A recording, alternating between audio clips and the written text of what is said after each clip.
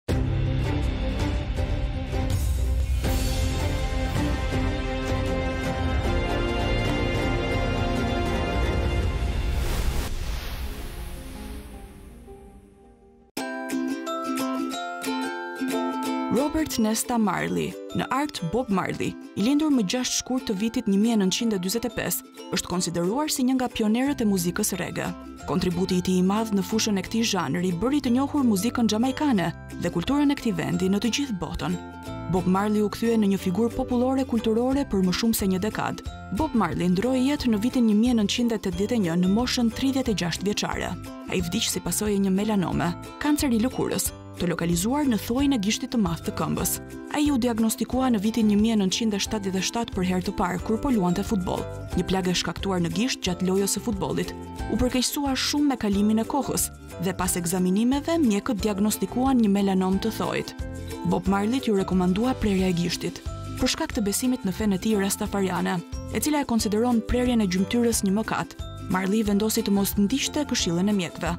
Sëmundja u përhap në të gjithë trupin dhe Bob Marley vdiq në vitin një mijë e nëntëqind e tetëdhjetë e një në Miami. Fjalët e tij të fundit për djalin e tij Ziggy ishin, Paratë nuk të blejnë jetën. Mirëmbrëma të dashur miq. Mirë se erdhët në Enigmat e Hipokratit. Është takimi ynë javor si çdo të shtunë në ekranin e Euronews Albania. Dhe siç e ndoqët, sot e kemi nisur ndryshe. E kemi nisur me një insert me historinë e jetës së të pavdekshmit Bob Marley. Siç e ndoqët edhe në tekstin e insertit, Bob Marley, legjenda e muzikës, u nda nga jeta në një moshë fare të re, vetëm 36 vjeç, pikërisht nga melanoma ose kanceri i nishanit. Dhe duke ndjekur historinë e jetës së tij, ne kuptojmë, po jo vetëm nëpërmjet historisë së tij, se sa e rëndësishme është t'i diagnostikojmë në kohë dhe të kemi mundësi të shpëtojmë jetën e çdo kujt që mund të rrezikohet pikërisht nga melanoma ose nga kanceri i nishanit. Sot programin do t'ia kushtojmë pikërisht nishaneve. Ne kemi folur dhe herë tjetër te, për nishanet, edhe për rrezikshmërinë, edhe për domosdoshmërinë e trajtimit të tyre në kohën e duhur, por sot fokusi do të vendoset tek ndërhyrja kirurgjikale e nishaneve. Fillimisht ne do të kemi mundësi nga pikëpamja teorike nëpërmjet bisedës që do të zhvillojmë me dy mjekë në studio të kuptojmë çfarë ndodh, cili është procesi protokollet edhe metodat mjekësore nga dermatologu tek kirurgu dhe më pas do të kemi mundësi të gjithë këtë teori që do të zbërthejmë në bisedën në studio ta shohim edhe në praktikë me raste konkrete. Por, derisa të mbërrijmë deri aty në mënyrë të përmbledhur, ja çfarë do ndiqni sot në program.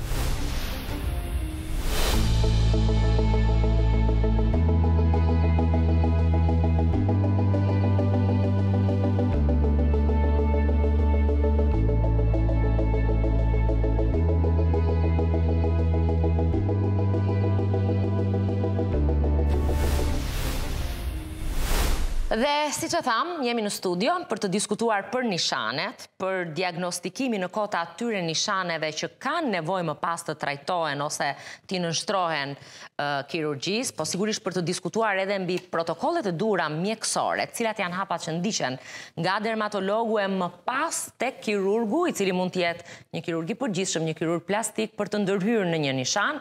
Unë kam të ftuar në studio dy mjekë, janë të domosdoshëm për të zhvilluar këtë bisedë dhe për të kuptuar gjithë dinamikën e procesit që nga verifikimi që dermatologu bën me dermatoskope deri tek ndërhyrja që bën kirurgu dhe doktorët që kam në studio janë doktoreshë Entela Shkodrani, dermatologe dhe doktor Sokol Isaraj, kirurg plastik. Ju faleminderit të dyve për pjesëmarrjen edhe për gjithë informacionin që besoj do të jepni paraprakisht për këtë temë interesante, po dua ta nis fillimisht me doktoreshë Entelën. Doktoresha, Nuk dua të ndalem fillimisht te diagnostikimi i nishaneve, por në një hap tjetër. Për shembull, ju si dermatologe, mbasi i ekzaminoni një nishan, domethënë bëni ekzaminimin mbi një pacient, shihni disa ndryshime që ne i kemi folur edhe herë tjetër në një nishan në krahasim me nishanet e tjerë, kur vendoset për të ndërhyrë me kirurgji? Uh, menjëherë sapo bëhet ky dallimi i ndryshimeve të nishanit, apo pritet pak kohë? Ja, nuk ka një kufi të prerë nëse ne e vendosim menjëherë sapo uh, shohim që një nishan ka ndryshuar nëse duhet referuar apo jo për ekscizion, pra për heqje kirurgjikale.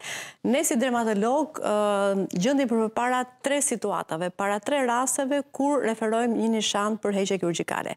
Ose kur kemi të bëjmë me një nishan që është ekzistent, pra ka ekzistuar aty gjithë kohën, mbase edhe është ndjekur nga dermatologët, dhe në një moment të caktuar paraqet disa ndryshime strukture që ne i diagnostikojmë me dermatoskopi, dhe nëse këto ndryshime janë ndryshime që kanë ardhur pak nga pak ose dhe në mënyrë të menjëhershme, por janë ndryshime të rëndësishme të strukturës së nishanit, të cilat ne na garantojnë që ky nishan pa diskutim do shkojë drejt një melanome, Atëherë ky është një rast të cilin ne sigurisht e referojmë për heqje kirurgjikale. Pra ky është rasti i parë. Pra një nishan ekzistues që ka ndryshuar me kalimin e kohës, gjithmonë nëse konfirmohet me dermatoskopi, sepse nishani nuk shifet, ndryshimi nuk shikohet me sy të lirë, duhet parë ndryshimi i strukturës së një nishani me dermatoskopin, me aparatin që ne përdorim. Çdo ndryshim në dermatoskopi ka një korelancë, pra ka një uh, le themi, një barazi në ekzaminimin istopatologjik, pra një ndryshimi në qelizat e nishanit. Kur ka ndryshuar e krahason me dermatoskopitë që janë bërë më përpara po, një nishani, po, të tilë, por në qoftë se një pacient vjen rishtas, për herë të parë dhe sheh një ndryshim, në me shetë një rast. Po, Ky është rasti i dytë. Rasti i dytë është kur për herë të parë ne e shohim, ose një nishan që sapo ka dalë, Dhe në ekzaminimin dermatoskopik, e vendosim dermatoskopin, shofim që ka kritere dermatoskopike, 3-4 kritere dermatoskopike që na garantojnë që ky nishan nuk është normal dhe referohet përnjëherë për, ekzami, për ekscizion kirurgikal, ose është një nishan që një dermatolog, edhe pse nuk e ka parë përpara, e shikon për herë të parë dhe në dermatoskopi shikon që ka ndryshime signifikative të rëndësishme, atëherë referohet për kirurgji. Pra këto janë dy dy rastet e para. Rasti i tretë është rasti më flagrant, kur ne vëmë dermatoskopin dhe jemi përballë ose një melanome in situ, pra një melanome, një nishani që është shndërruar në melanom, ose një melanome në stad të avancuar që le ta themi ta themi me pak keqardhje në Shqipëri Shumë rrallë shohim melanoma in situ, pra melanoma që sapo kanë filluar. Në përgjithësi, shqiptarët kanë dhe tendencën që nishani të mos ngacmohet, mos preket dhe e lënë të ecin në një farë mënyre dhe melanomat janë në stad më të avancuar. I diskutojmë pak edhe këto po. problemet që shkakton mentaliteti, sidomos në lidhje me kirurgjinë e nishaneve. Po, tani të kaloj nga krahu tjetër. Patjetër. Domethënë, e ka diagnostikuar le të themi dermatologu, një nishan që ka ndryshime dhe e referon te kirurgu. Domethënë çfarë bën kirurgu më pas? Fillon domethënë menjëherë vendos për kirurgji apo ka disa hapa, disa filtra për të vendosur nëse do të ndërhyhet menjëherë, do të ndërhyhet në një kohë të dytë apo mbase edhe nuk do të ndërhyhet fare? Si rregull, nuk e diskutojmë asnjëherë fjalën e dermatologut. Biles, nëse pacienti e para punës dua të kundërshtoj paksa doktoreshin që tha në lidhje me kulturën, mendoj që kultura edhe në sajë të punës madhe që bëhet nga kolegët tanë dermatologë, ka, sheh ndryshime në, në qëndrimin e njerëzve ndaj nishaneve. Ne, tek ne vinë më shpesh njerëz për nishane, ne diagnostikojmë paksa më shpesh ato melanomat in situ, pikërisht për faktin që pacientët referohen shumë shpejt te kirurgu. Pastaj, në momentin që referohen te kirurgu nga një dermatolog, fjala e dermatologut për ne është ligj, sepse ashtu siç tha dhe doktoresha, nuk kam unë aftësinë të dalloj me sy ato ndryshime që dermatologu i ka parë me dermatoskop, sado i fuqishëm që të jetë syri. Po bëni një rikonfirmim të diagnozës që ka dhënë dermatologu nëpërmjet analizave të tjera, apo jo. nuk është e nevajshme? Jo, i vetmi rikonfirmim është pastaj ekzaminimi histopatologjik ose biopsia, biopsia ose mbjellja siç njifet në gjuhën e popullit. Dhe në varësi pastaj të përgjigjes së saj do jetë edhe ecuria më pas. Po gjithsesi, biopsia bëhet mbasi është ndërhyrë nga pikëpamja kirurgikale. Mbasi nishani është hequr. Po, Ai material çohet për biopsi për të konfirmuar diagnozën. Kjo quhet biopsi, ndoshta do ta shpjegojmë pak më vonë, mhm. quhet biopsi ekscizionale. Pra ti e heq të gjithë nishanin dhe e çon për ose lezionin, dëmtimin në lëkurë dhe e çon për ekzaminim histopatologjik.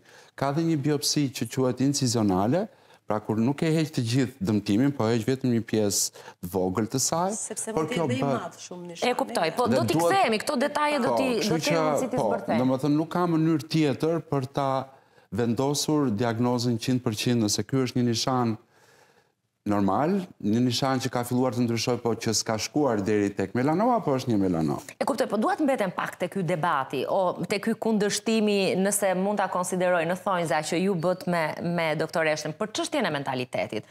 Mbase, kur vijnë te kirurgu, uh, mund të themi që ata janë të bindur, o fakti që janë shtuar rastet te kirurgu nuk do të thotë që ndiqen rregullisht. Si është, domethënë, t'ua themi njëherë e mirë njerëzve, a është tabu të ngacmosh nishanet, të heqësh nishanet. Në vetvete njerëzit i frikësohen heqjes së nishaneve për shkak të një besimi, nuk e di se si është krijuar në fakt në kohë, që po i ngacmove, rreziku është i shtuar. Mendoj që vazhdon të jetë tabu dhe nuk mendoj që është vetëm këtu, është në të gjithë botën, sigurisht në Shqipëri një çik më shumë se në vendet e tjera të botës. Si është krijuar ky mendim? Domethënë ka pasur ndonjë mendim shkencor në një kohë të shkuar që më pas është hedhur poshtë? Unë mendoj që ka lidhje me eksperienca të pacientëve të caktuar. Për shembull, dikush ka pasur një një melanomë që familjarët e vet, ose të afërmit, ose miqtë, shokët, e kanë quajtur si nishan. Ka shkuar e ka operuar, dhe mund të ketë pasur përfundim fatal, por gjithmonë dhe këtë përpiqem. Dhe mendojnë që është operacioni ai që ka. Ai që e ka bërë. Në fakt, ai e ka marrë rrugën, domethënë drejt përkeqësimit dhe në një farë mënyrë dhe kjo është ajo që unë i them literalisht gjithë pacientëve që biopsia dhe operacioni nuk bën asnjë gjë tjetër përveç se i zbulon petët lakrorit. Pra vendos një diagnozë dhe konfirmon gjithë dyshimet, vendos një diagnozë të mirë ose të keqe dhe kaq. Nuk ka asnjë studim shkencor të përmasave të mëdha që të mbështesë atë që e ka bërë këtë fenomen tabu, pra faktin që po e ngacmove, do përfundosh keq. Të gjitha studimet shkencore po, e kanë hedhur poshtë. Do ta përshpejtosh ecurinë, ecurinë e keqe. Diçka këtu. Ka studime të kundërta, të cilat vërtetojnë që ndërhyrja mekanike që bëhet në një nishan, pra ndërhyrja, ndërhyrja kirurgjikale në këtë rast që bëhet në nishan, ose në një melanomë, absolutisht nuk ndikon në përhapjen e mëtejshme të melanomës. Kjo është e konfirmuar. Kjo është e konfirmuar me studime shkencore, sepse sikurse e tha dhe doktori, edhe ne dermatologët hasemi në këtë frikën e madhe të shqiptarëve që po e preka, unë do vdes, kushëriri, djali i xhaxhait, atij, atij, ka hequr nishanin, gjashtë muaj mbasi e hoqi nishanin, vdiq, të gjitha janë përralla, janë përralla, janë fobira, nuk i di nga se kanë dalë,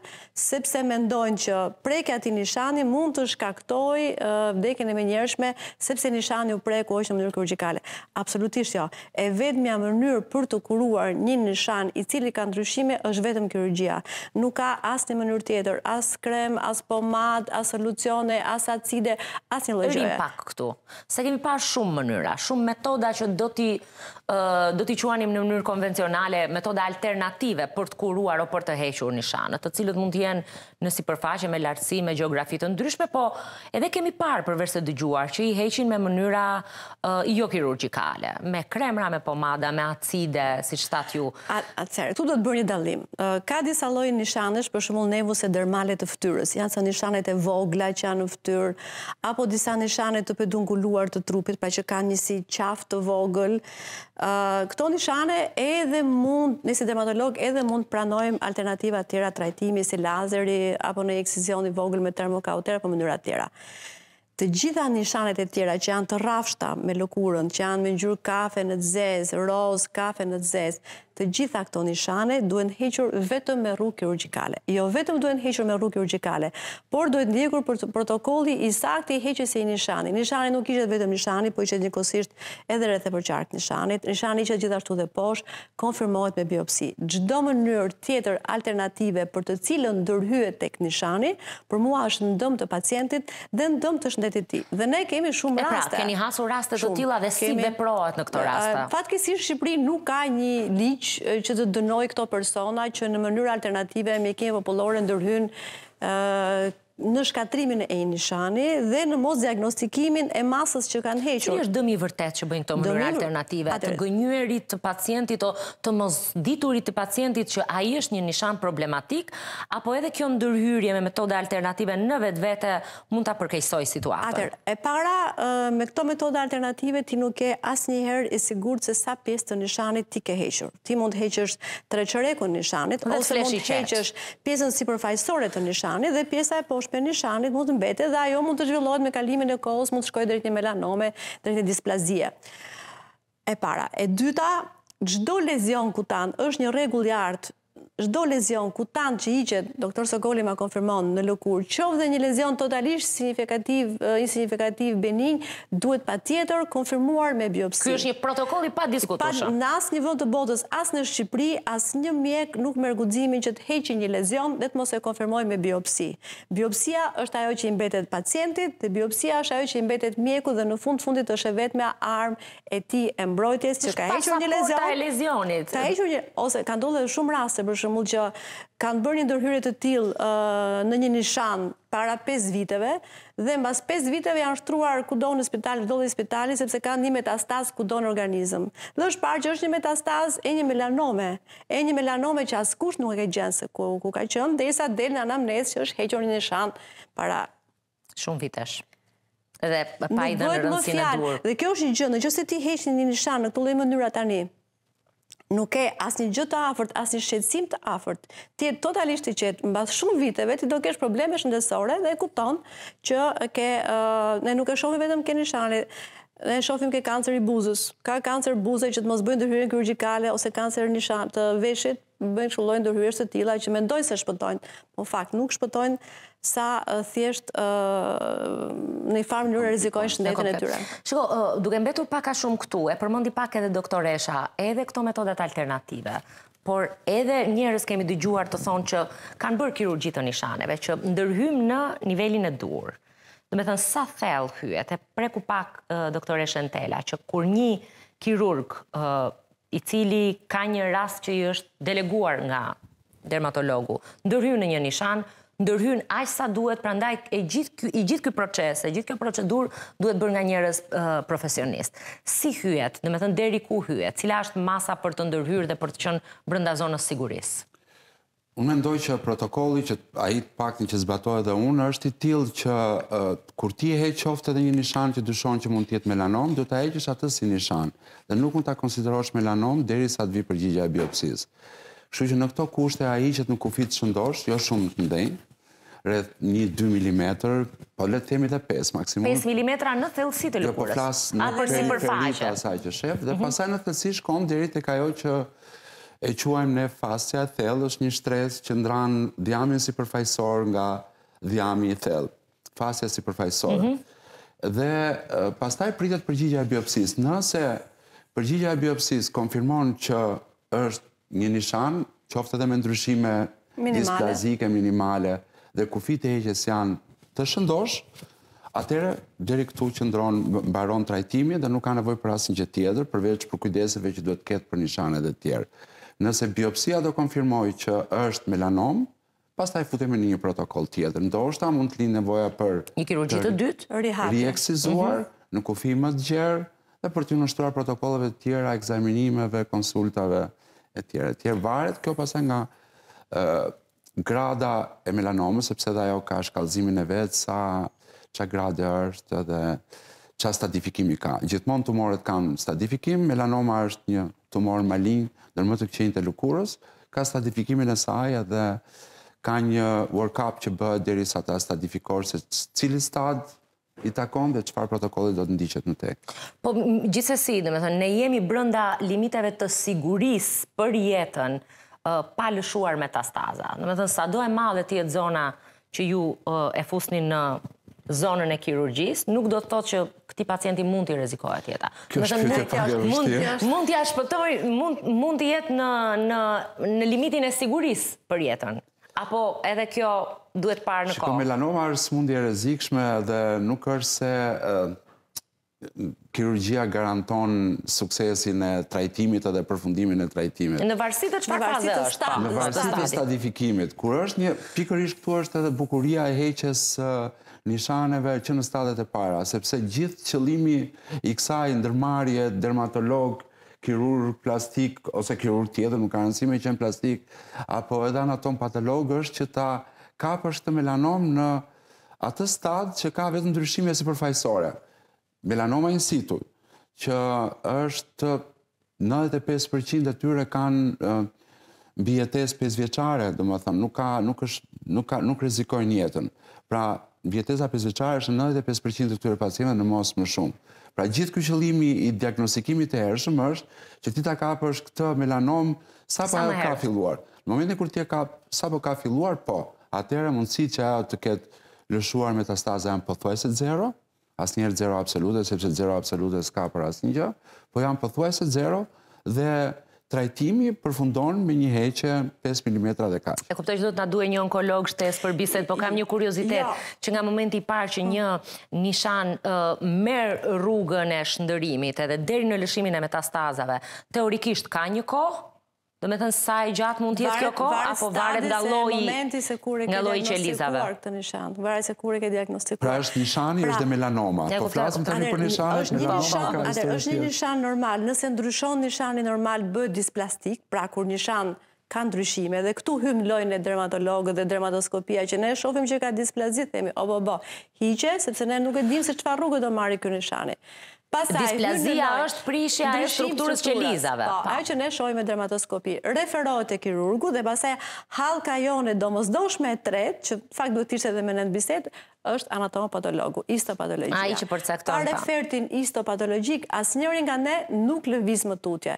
Nëse është hequr në kufi sigurie dhe është një nishan displastik, Pacienti nuk ka nevojë të bëjë asnjë lloj gjëje tjetër, mjafton të kontrollojë gjithë nishanet më tutje. Nëse shikohet që është një melanomë, qoftë dhe një melanomë in situ, pacienti del fare nga kontrolli i dermatologut dhe anatomopatologut për këtë rast dhe shkon tek onkologu dhe hyn në protokollin e trajtimit të onkologut. Domethënë, onkologu futet në lojë në në momentin që është një melanomë. Në momentin që është një melanomë dhe pastaj onkologu kirurg e vendos do rihapet, s'do rihapet, Fillon pastaj historia, limfonodula dhe gjëra të tjera. Por gjithë qëllimi i bisedës sonë është ky që ne Nëse shkojmë sa më herë, shkojmë atje. Sa më herë. Domethënë njerëzit duhet të sensibilizohen që Edhe nëse është melanom, po edhe nëse është një nishan që mund të ketë një ecuri të keqe, mirë është të shkojmë mm. së paku te dermatologu. Duhet patjetër hequr. Unë desha të prek edhe diçka tjetër, dhe ke dermatoskopia.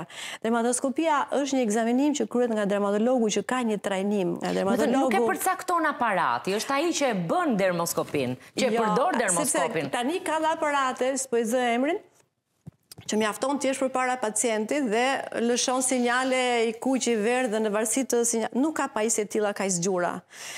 Dermatologu e vendos dermatoskopin e shef strukturën... është syri i dermatologut që e ndan. Syri i stërvitur i një dermatologu. Prandaj, dermatoskopia bëhet ke dermatologu, ke dermatologu që ia merr me dermatoskopin.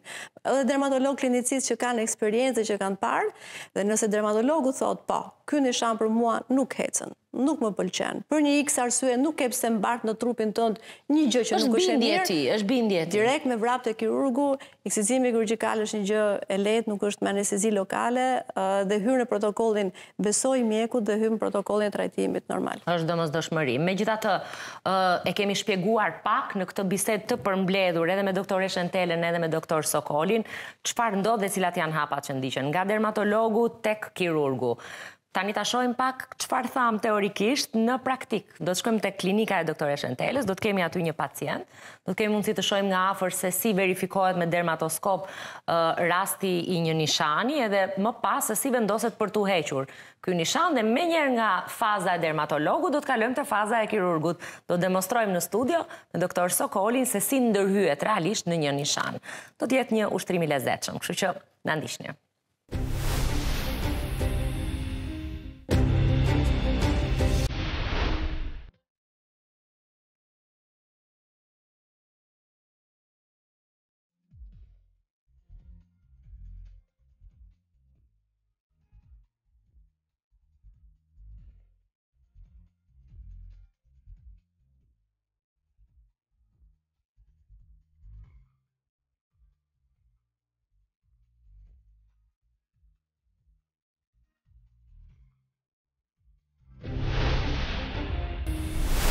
Për të parë nëse një nishan paraqet rrezikshmëri e më pas nëse duhet t'i nënshtrohemi ndërhyrjes kirurgjikale për ta hequr atë, është vizita tek dermatologu, një vizitë me dermatoskop e përcakton më së miri.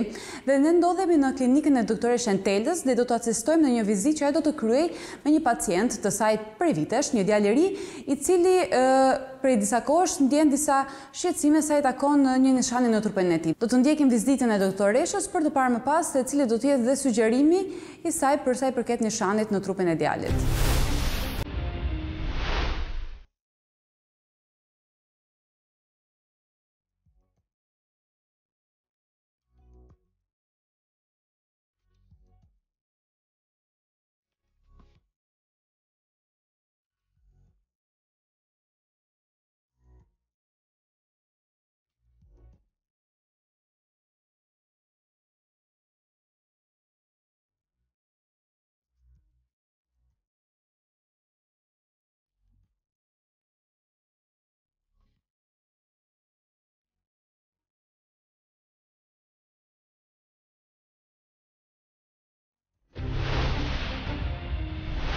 Doktoreshë unë isha prezente, asistova në vizitën e një djali të ri që ju sapo kryet, dhe në fund fare ishte ju e referuat për ndërhyrje kirurgjikale, pse kjo? Atëherë vërtet, ju asistuat në, në ekzaminimin si me dermatoskopin e dorës, si dhe me videodermatoskopin të një djali që është pacienti im prej shumë e shumë viteve, Po të shikoni këtu është i pafund numri i ekzaminimeve që ka kryer, ekzaminimeve dermatoskopike. Është një djalë që ka disa nishane që në vegjëli. I kemi ndjekur vazhdimisht kontrolle dermatoskopike vjetore, dyvjeçare, sepse nuk ka pasur probleme. Së fundmi, në tremujorin e fundit, më thotë që ka vërejtur me sy të lirë që njëri nga nishanet e veta ka disa ndryshime dhe për këtë arsye u paraqit për vizitë dermatoskopike. Në fakt, në vizitë dermatoskopike, unë shikoj disa ndryshime, disa kritere dermatoskopike për të cilat unë nuk mund të jem e qetë, për ecurinë e këtij nishani, pra ky është ajo që ne i themi një nishan displazik apo një nishan që ka ndryshuar dhe për këtë arsye referova për ndërhyrje kirurgjikale. Duke qenë se ju thatë që pacienti është një pacient i juaj prej vitesh, për sa kohë duhet bërë një një vizitë nga tjetra, sepse thamë që djali Ka qenë në kontroll në vizita dhe kohët e fundit ka vërejtur këto ndryshime në nishan. Atëherë, ne kemi disa protokolle në rast se një pacient ka shumë nishane, ka mbi njëzet, tridhjetë nishane dhe në rast se në ekzaminimet e mpërparshme asnjë nga nishanet nuk ka pasur probleme, atëherë mjafton vetëm një herë në vit që të kryhet kontrolli dermatoskopik. Nëse ka pasur probleme nishanet e tjera, pra ka dalë ndonjë nishan displastik, atëherë janë kontrollet më të shpeshta, ndonjëherë gjashtëmujore, ndonjëherë tremujore. Në këtë rast, në këtë rast që është referuar për ndërhyrje kirurgjikale, protokolli i ndjekjes së mëtejshme me dermatoskopi të djalit do varet vetëm nga referti histopatologjist. Nëse histopatologjia do thotë që është një nishan që ka ndryshime të mëdha, dhe në fakt unë shoh disa kritere që nuk më pëlqejnë. Cilat janë ato shenja? Ndjesë që të ndërpres, po ato shenjat e para që ndoshta mund t'i kuptojmë dhe ne jo ekspertë të fushës dhe për të ardhur më pas tek ju. nuk ka asnjë ankesë subjektive, domethënë as dhimbje, as djegje, as kruajtje, asnjë lloj gjëje, ka vërë re vetëm që nishani në njërën anë ka një lloj zmadhimi të menjëhershëm. Dhe në fakt, po ta shohësh në këtë pjesën këtu, po ta shikoni, kjo pjesa këtu është më homogjene, kjo pjesa këtu ka ato që ne quajmë rrjetëzim, zgjatime, etj, etj, ca kritere tona dermatoskopike dhe nishani në këtë pjesë ka filluar të ndryshojë. Se sa shpejt do eci ky ndryshimi, unë nuk di ta them, sepse varet nga shumë faktorë, varet nga gjenetika e djalit, varet nga sa i kujdesshëm ka qenë në ekspozimin në diell. Por, meqenëse unë shoh që ka ca ndryshime të cilat mund mund të më garantojnë që ky nishan mund të kthehet në melanom, e vetmja mënyrë për ta parandaluar dhe për ta kuruar është heqja kirurgjikale. Po. Asnjë lloj ndërhyrje tjetër, vetëm ndërhyrja kirurgjikale te profesionistët e fushës. Dhe si veprohet në këtë rast që tashmë ju e këshilluat për një ndërhyrje kirurgjikale, cilat janë ato procedurat? Atëherë do shkoj te kirurgu për ta kryer ndërhyrjen, mbasi kryhet bëhet referti i biopsisë dhe në varësi të ekzaminimit imunohistopatologjik, Do rikthehet prapë te ne me ekzaminimin nëse është një nishan normal me ndryshime, thjesht do mbahet në observacion, nëse është më shumë se sa një nishan, pastaj do vendoset për ndjekje të mëtejshme ke onkologu për rihapje dhe kështu me radhë për protokollet tona. Gjithsesi, meqenëse ky ky djalë ë paraqet një nishan displazik, kjo është një sinjal alarmi për të, që e para duhet të jetë shumë i kujdesshëm karshi diellit, E dyta, duhet të jetë në një kontroll të rregullt dermatoskopik të gjithë nishaneve, jo vetëm ke ne si dermatolog, po të bëjë dhe vetë ekzaminimin në shtëpi, të marrë një pasqyrë, t'i shohë një lupë zmadhuese edhe kështu me radhë. Po, unë këtu doja të ndalesha pak për të mos shkuar te kjo ndërhyrja kirurgjikale. Cilat janë ato shenjat ose ato proceset rutinë që duhet të bëjmë gjithsecili prej nesh për t'u kujdesur për nishanet tona? Duhet t'i kontrolloni në mënyrë rutinore vetë. Të dini se ku i keni nishanet, t'i shikoni. Në qoftë se shikoni që në një nishan ka një ndryshim, zmadhohet, skuqet etj etj, shkoni përnjëherë për kontroll ke dermatologu, mos e zgjasni. Të jeni të kujdesshëm karshi diellit. E vetmja gjë që mund të bëni është kjo, sepse nishani nuk ka asnjë mënyrë kurimi tjetër. Nëse dermatologu ju thotë që nuk ka problem, vazhdoni me kontrollet rutinore, ok. Nëse ka diçka që nuk shkon, do hyni në protokollet tona të diagnostikimit dhe. Do na ndiqni për çdo gjë që do ju themi. Unë shpresoj që djali mos të ketë ato shqetësime madhore për të cilat dhe ju dyshoni dhe faleminderit për këshillat që na dhatë. Okej, dhe unë shpresoj sepse është pacienti im prej shumë kohësh, në fakt është një pacient model që vjen e bën dermatoskopinë rregullisht dhe nuk do më vinte edhe mirë për pacientin që me gjithë këtë kërkesë që ka karshi vetes në rutinën e ekzaminimit të nishaneve, prapë të kishte ndonjë gjë që nuk shkonte. Shpresojmë. Ja ku jemi rikthyer përsëri në studio. Nga klinika e doktore Shentelës, tani jemi në studio dhe e kemi kthyer studion bashkë me doktor Sokolin në një sallë të improvizuar operacioni dhe presupozojmë që kjo masa këtu që kemi vendosur ne është lëkura mbi të cilën kirurgu do të veprojë dhe këtë Shenjën e kemi vendosur si nishan. Si nishan. Duke shpresuar gjithmonë që asnjëherë mos kemi të bëjmë nishane kaq të madh. Me një nishan kaq të madh, po gjithsesi. Por sa për demonstrim. Po. Domethënë do kuptojmë besoj doktor nga ndërhyrja që do të bësh edhe ato që shpjeguam pak po. përpara në pjesën e bisedës që kishim në studio, sa thellë hyjmë, si përcaktohet harta, ë qoftë në gjerësi, në sipërfaqe edhe në thellësi. Po, Gjë e parë është që bëhet një vizatim duke ruajtur një kufi, nuk e di nëse ky laps do shkruaj dot. Duke ruajtur një kufi, le të themi minimal prej 2 mm. Mhm. Dhe pastaj pasi anestezohet me anestezi lokale, me lidokainë, pritet 10 minuta dhe mhm. procedura është e thjeshtë në këto kufijtë, okay. Që kemi vizatuar? dhe që më mirë se çdo njeri se si është drejtimi i heqjes e përcakton kirurgu plastik, po kjo mhm. nuk e bën të domosdoshme që patjetër do ta bëjë një kirurg plastik, domethënë, ka ca kushte që mund t'i dijë çdo kirurg tjetër, dhe hiqet që do ta bëjë këtë punë, se mhm. kur do ta bësh, do ta bësh, dhe hiqet masa, deri në shtresën më të thellë që e ke vështirë për ta improvizuar. Në shtresën po më të thellë, po, si që... Më fal, deri në, në fasjen sipërfaqësore, mhm. ose mm -hmm. atë fasje që syri i kirurgut e dallon që ndan dhjamin sipërfaqësor me dhjamin e thellë. Mm -hmm. Pastaj, pas dhjamit të thellë, vjen fasja e muskulit, vijnë muskujt dhe kështu me radhë. Nuk ndërhyjmë deri aty, domethënë jemi deri në këtë pikë që ne shpjeguam. Kjo është ajo që ne e quajmë biopsi, mm -hmm. Nuk dhe këtë material po. Dhe këtë material ndoshta dhe duke shënuar edhe se cila anë i përket cilës anë, për shembull mm -hmm. kjo është sipër, kjo është poshtë, kjo është majtas, kjo është djathas, mm -hmm. që kirurgu e shënon duke vendosur një pe, edhe thuhet që peri me ngjyrë të zezë është në skajin e sipërm të heqjes. Peri me ngjyrë të bardhë është në skajin... Domethënë, këtë materialin... Këtë materialin që do ta çojmë për biopsi, uh -huh. ne e shënojmë që t'i korrespondojë Pse bëhet kjo që në rast se anatom-patologu thotë që nuk është hequr në kufij të shëndoshë, ai referohet dhe cila pjesë nuk është hequr në kufij të shëndoshë dhe thuhet pjesa më sipër proksimale nuk është hequr në kufij të shëndoshë. Zakonisht për nishanet një gjë e tillë nuk është se është shumë e domosdoshme, sepse është një biopsi, siç e thashë, ekscizionale, pra ne po e heqim duke e konsideruar atë si nishan dhe po e heqim në kufijtë më minimalë që ndoshta edhe tensioni i plagës të jetë minimal edhe shenja të jetë më e mirë.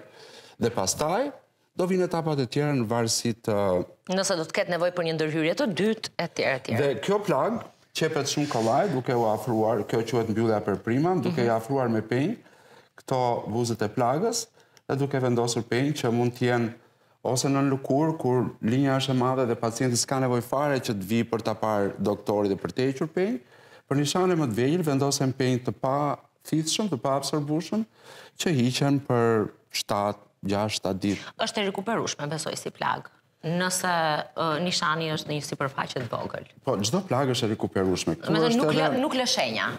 Jo, do lë. Ah, do lërë shenja. Do lërë shenja. Po, ka një postulat që Aty ku kirurgu vë bisturi patjetër që do ngelet shenjë. Një shenjë do të ngelet. Po, po si po, sot ka metoda për t'i rikuperuar edhe, domethënë, lëkurën, kështu që nuk besoj është problem për pacientët.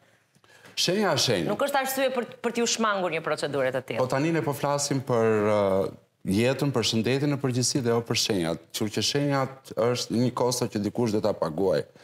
E mirë, e keqe, e dukshme, pak e dukshme, kjo varet nga shumë faktorë, varet nga trupi i njeriut, varet nga mënyra se si e ka vendosur incizionin doktori ose prerjen, varet nga fakti nëse plaga infektohet ose jo. Ka shumë faktorë për pjesët e trupit se ku vendoset, sepse ka pjesë të trupit që janë të prirura, për bërë shenja shumë të këqia. Po, po gjithsesi, kjo nuk është, domethënë kjo nuk është thelbi, nuk është po qëllim, nuk është e rëndësishme. Ka, ju keni të drejtë, sepse nuk ia vlen ta diskutojmë. Një pjesë e pacientëve vijnë me idenë te kirurgu plastik, që po vij këtu për ta hequr këtë. Po do dal pa asnjë shenjë, se ky është kirurgu plastik. Jo, po s', domethënë, sigurisht ne e sqarojmë që nuk bëhet fjalë për shenjë, ne do marrim... Në gjithë masat e domosdoshme që mos ngelet, ngelet një shenjë minimale, qoftë edhe pas operacionit për ta trajtuar këtë shenjë me ato metoda që njeh sot shkenca për ta bërë sa më pak të dukshme, por shëndeti është i pari, pastaj vjen kjo pjesë. Nuk është ajo prioriteti. Të falenderoj shumë, besoj ishte shumë e qartë dhe shumë e thjeshtë. Unë do thosha edhe një gjë tjetër, kjo është një gjë shumë e thjeshtë, mhm. ka edhe një moment tjetër, ka mhm. raste kur defekti i heqjes mhm. mund të jetë shumë i madh. Këtu është roli i kirurgut plastik, është një gjë që nuk e bëjnë dot kirurgët e tjerë, mhm. të patrajnuar, se mund të ketë ndonjë kirurg i përgjithshëm që mund të ketë njohuri, sepse për plagë shumë të mëdha, le të themi, ë uh, pasi erdhi përgjigja e biopsisë dhe u konfirmua që është melanom, në varësi të stadit mund të kërkohet që të rihiqet.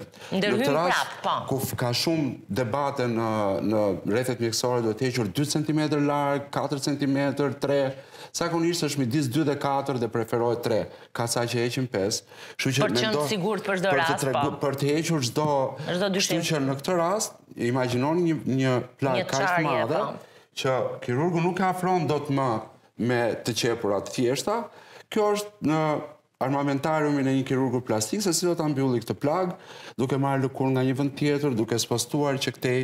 Këtu është pjesa që është pikërisht kirurgjia plastike hyn në lojë. Siguron një mbyllje të plagës. Përsëri jo për shenja, po për të siguruar mbylljen e plagës. E kuptoj. Të falenderoj shumë. Mm. Dhe besoj ata që e kanë parë e kanë të qartë tani çfarë ndodh nëse dikush shkon te kirurgu pikërisht për të hequr një nishan. Pak a shumë kjo është procedura.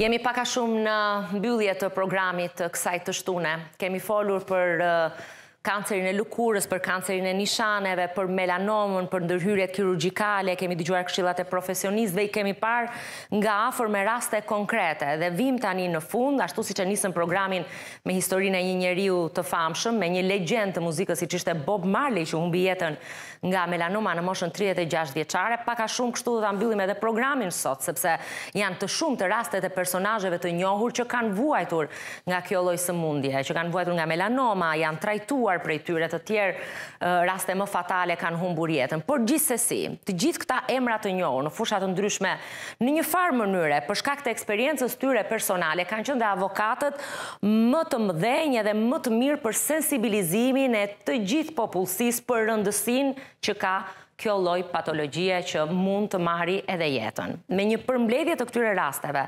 redaksia e Enigmat e Hipokratit e mbyll programin për sot. Ai është materiali i fundit, por nuk do të harrojmë që t'ju kujtojmë takimin e ardhshëm të shtunën tjetër. kontaktet tona gjatë javës nëpërmjet rrjeteve sociale Facebook dhe Instagram, edhe sigurisht kuicin javor, të cilin ju keni mundësi, në të cilin ju keni mundësi të merrni pjesë nëpërmjet rrjeteve tona sociale, e po kështu nëse jeni të saktë në përgjigjet e kuicit, të bëheni fitues të një check-up-i të ofruar falës nga rrjeti i laboratorëve Intermedica. Ky ishte takimi i kësaj të shtune. Takohemi javën tjetër. Kanceri i lëkurës është lloji më i zakonshëm i kancerit, sidomos në Shtetet e Bashkuara të Amerikës. Vlerësohet se një në pesë amerikanë mund të zhvillojë kancer të lëkurës të paktën një herë në jetë. Karcinoma e qelizave bazale dhe karcinoma e qelizave skuamoze janë dy nga format më të zakonshme të kancerit të lëkurës, dhe mund të kurohen në mënyrë efektive nëse diagnostikohen në kohë. Melanoma është më pak e zakonshme, por shumë më e rrezikshme, pasi mund të përhapet në pjesë të tjera të trupit duke formuar metastaza. Sipas Akademisë Amerikane të Dermatologjisë, mesatarisht një amerikan vdes nga melanoma çdo orë.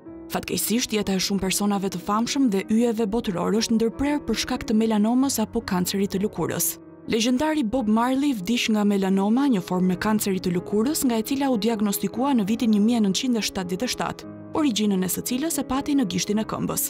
Kur mjekët zbuluan kancerin, e këshilluan atë që të priste gishtin e këmbës, por Bob Marley e refuzoi, pasi besimi i tij rastafarian e konsideron mëkat të hiqet një pjesë e trupit. Ai vdiq 4 vjet më vonë, më 11 maj 1981. Ish-lojtari dhe menaxheri i klubit të futbollit Celtic, Tommy Burns vdiq nga kanceri i lëkurës në moshën 51 vjeçare. Ai u diagnostikua me kancer të lëkurës në 2006-ën. Ai luftoi dhe e mundi sëmundjen, por në vitin 2008 ai pati një rikthim nga një tjetër melanom malinje, nga e cila nuk mundi të mbijetonte. Stephen J. Cannell, i famshëm për krijimin e disa prej serive më ikonike televizive të viteve 70 dhe 80, vdiq në vitin 2010 në moshën 69 vjeçare, pas ndërlikimeve nga melanoma. Ka edhe personazh të tjerë që kanë arritur të fitojnë betejën me këtë lloj kanceri, dhe sot ata përdorin famën e tyre për të sensibilizuar njerëzit ndaj kësaj patologjie dhe i inkurajojnë ata të kryejnë kontrolle të vazhdueshme të nishaneve. Kështu, disa prej tyre që e kanë fituar këtë betejë me melanomën janë, i njohur për rolin e tij në Star Wars, aktori skocez Ewan McGregor tregoi për BBC se si iu desh të hiqte disa nishan në fytyrë dhe një prej tyre i vendosur nën sy ishte kancerogjen. Ai u shpreh ndër të tjera, Unë shkova i kontrollova dhe një specialist më këshilloi që më e mira do të ishte t'i hiqja. McGregor këshillon të gjithë, veçanërisht ata që kalojnë më shumë kohë në diell, të tregohen të kujdesshëm dhe të bëjnë një kontroll periodik. Brooke Shields ishte një fanse e madhe e përdorimit të solareve si një zgjidhje për të pasur një lëkurë të bukur. Por tani ajo këshillon të kundërtën. Unë kisha një nishan në fytyrën time. Doktori e hoqi dhe doli prekanceroz. U frikësova. Tani Shields përdor gjithmonë kremin mbrojtës të diellit, dhe sigurohet që edhe vajzat e saj të bëjnë të njëjtën gjë. Melanie Griffith u diagnostikua nga dy lloje të kancerit në lëkurë dhe për fat të mirë i identifikoi ato në kohë. Në dhjetor 2009, aktorja zbuloi kancerin e lëkurës në fazë të hershme, të cilën e hoqi me sukses. Më vonë në shtator 2017, Griffith hoqi karcinomën e qelizave bazale nga hunda e saj.